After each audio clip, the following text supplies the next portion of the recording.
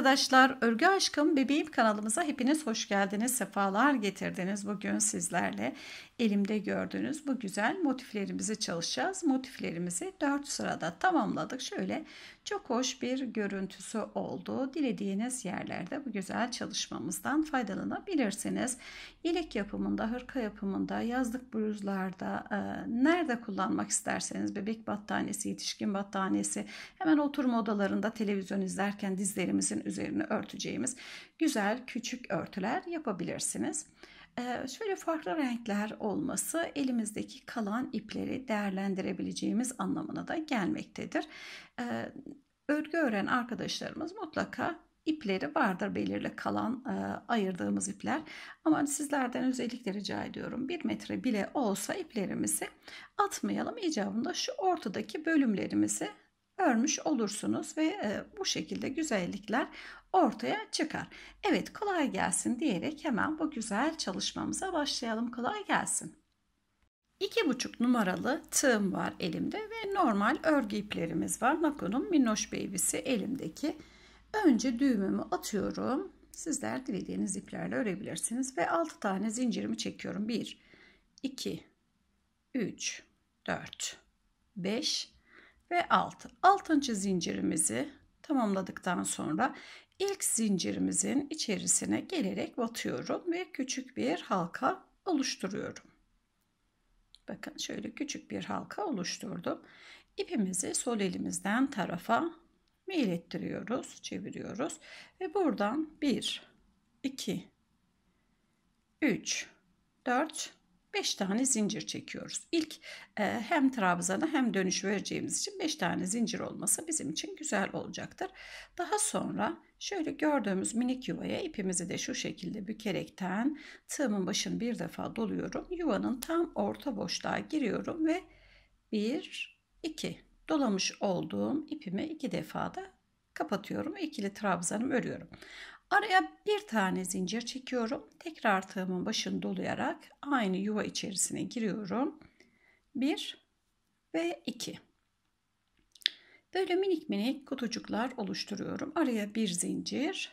Tekrar yuvaya giriyorum. Tığımın başını bir defa doladıktan sonra 1 ve 2. Tekrar bir zincir doluyorum. Yuvaya giriyorum ve kutucuklarımı örmeye devam ediyorum. Her trabzan arası bir tane zincirimi çekiyorum. Evet trabzanımı ve kutucuklarımı tamamladım. Sayalım. Bir kutu, 2, 3, 4, 5, 6, 7 tane kutucuğumuz oldu. Şu bölümü de kapatacağız. 8 tane kutucuğumuz hazır olacak. Son bir zincirimi çekiyorum ve burada 5 tane zincir çekmiştim. Bakınız 1, 2, 3. Üçüncüye gelerek batıyorum. İlmeğimi kaydırıyorum içinden ve bir tane zincir çekip düğümümü atıyorum ve ipimi kesiyorum. İpi kesmek her zaman için e, daha güzeldir. Hani hem elinizi zorlamazsınız hem de örgünüzü formunu bozmazsınız. Şöyle arkadan asıldım bakınız şu orta yerden. Ve bu şekilde motifimizin ilk başlangıç göbek kısmını hazırlamış olduk. 8 tane kutucuktan oluşan 1, 2, 3, 4, 5, 6, 7 ve 8. Şimdi ikinci rengimiz ve ikinci sıramıza geçebiliriz. Önce öreceğimiz ipimize bir tane zincirimizi çekip düğümümüzü atalım. Daha sonra da e, biraz önceki hazırladığımız parçayı alalım. Ben ipimi keserek şöyle arkasına gizledim.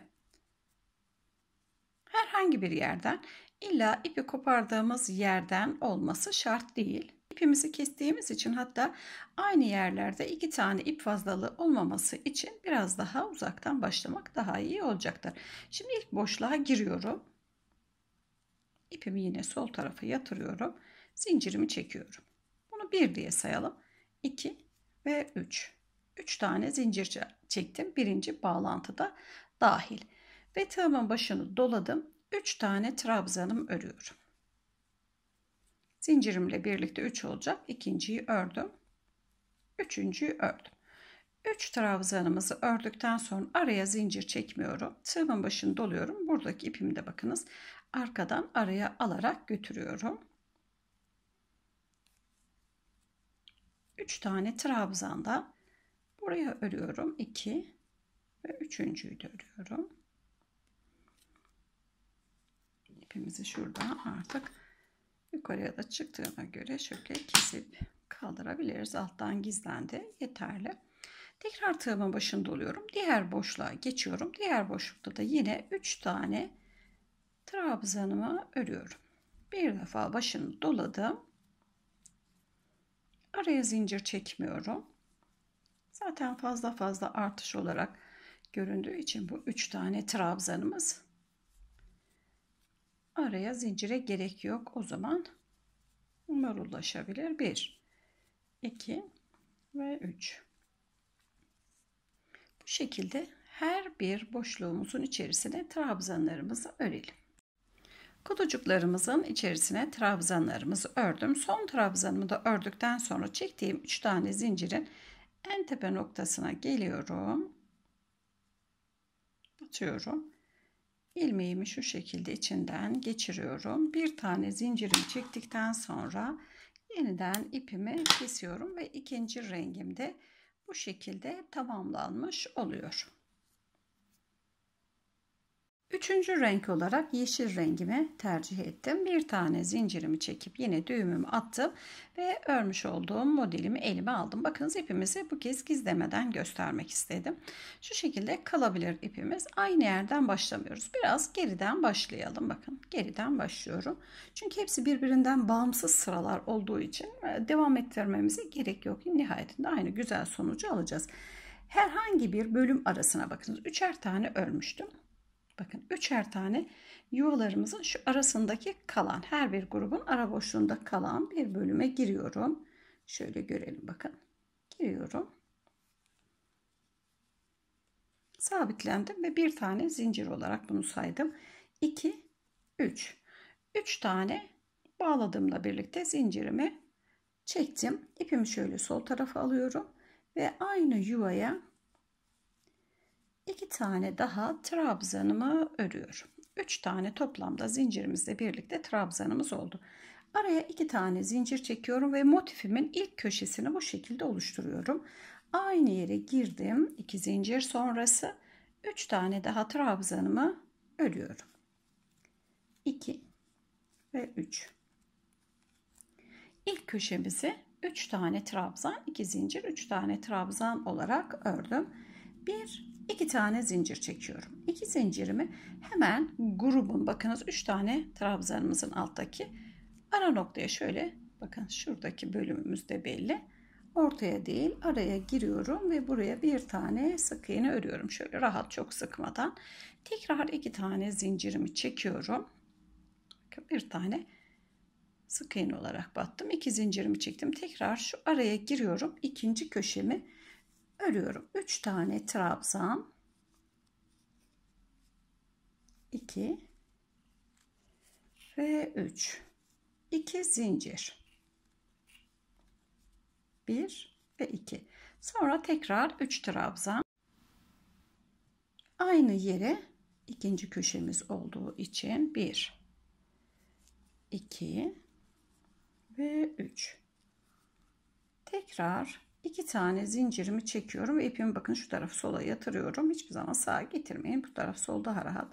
1 2 ve hemen diğer 3 tane trabzanın dibine sık iğnemle batıyorum. Tekrar iki tane zincirimi çektim.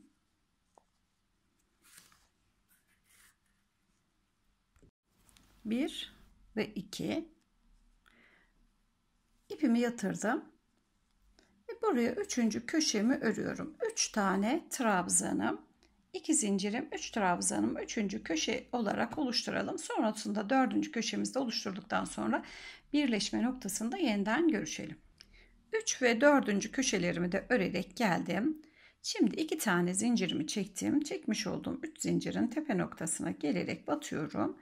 ilmeğimi kaydırıyorum ve bir tane zincir çekip ipimizi buradan kesiyoruz. Birleştirmemizi tamamladıktan sonra ipimiz de kesildi ve motifimizin 3 rengi ve 3 sırası da bu şekilde tamamlanmış oldu. Çiçeğimiz de çok hoş görülmekte. Şimdi dördüncü sıramızı örmeye hazırız. Dördüncü ve son sıramı yine ipimi kopardığım yerden değil başka yerden yani herhangi bir köşeden başlıyorum. Köşeme gelerek batıyorum. Bir tane zincir saydım bunu. 1, 2, 3 ipimi sol tarafa yatırdım ve üzerine iki tane trabzanımı örüyorum. 1 ve 2. Araya iki zincir çekiyorum. Köşemi son sıra olduğu için tam yapıyorum. 1 2 ve 3 ortadaki e, rengimle birebir aynı rengimi kuruyorum. Evet 3 tane trabzan 2 zincir 3 trabzanımı ördüm. Tığımın başında oluyorum ipimi halen bakın aradan götürüyorum. Şu bölüme giriyorum. Zincir çekmedim ama eliniz sıkıysa e, ipiniz uygun değilse bir tane geçişlerde zincir çekebilirsiniz. 2 3 tane trabzanımı ördüm. Tekrar tığımın başında oluyorum. 3 trabzanımı buraya örüyorum. Aşağıdaki sırada iki zincir çektiğim yerlere üçer tane trabzanımı ördüm. Yine zincir çekmedim. Sadece köşemde zincirimi çekiyorum. 2 3 kalan iplerimle örüyorum. Motifimi gördüğünüz gibi sizler de lütfen kalan iplerimizi değerlendirelim. Kesinlikle 1 metre ipimizi bile ziyan etmeyelim mutlaka bir işe yarayacaktır. Bir yere katlayıp kaldıralım. Bir kutumuz olsun, çantamız olsun. Evet ikinci köşemi de bu şekilde tamamladım. Yine aynı işlemleri devam ettiriyorum. İki tane üçerli grubumu zincir çekmeden geçip örüyorum. Bir, iki ve üç. Tekrar iki ve 3 köşelerimizi de örelim. Motifimizin sonunda yeniden birlikte olalım. Sona kadar örerek geldim. Köşelerim tamamlandı. Aradaki üçerli gruplarımız ve en son e, birleştirme noktasındayız. Sadece son yere özel olarak bir tane zincirimi çekiyorum. 3 tane zincir çekerek başladığım yere girip ipimi kaydırıyorum. Bir tane zincirimi çektikten sonra ipimizi arkaya gizlemeye yetecek kadar keserek ayırıyoruz ve bu şekilde modelimiz diğer modellerle birleşmek için yani motiflerle birleşmek için hazır hale geliyor. Evet. Bu şekilde çok kolay kalan iplerimizi rengarenk değerlendirerek istediğiniz yerlerde bu güzel çalışmamızdan faydalanabilirsiniz. Umarım beğenmişsinizdir. Ee, ayrıca beni izlediğiniz için hepinize çok çok teşekkür ederim. Yeni çalışmalarımızda yeniden birlikte olmak üzere. Hoşça kalın, mutlu kalın. Görüşmek üzere. Şöyle içeriye de gizleyelim. Onu da yapmış olalım.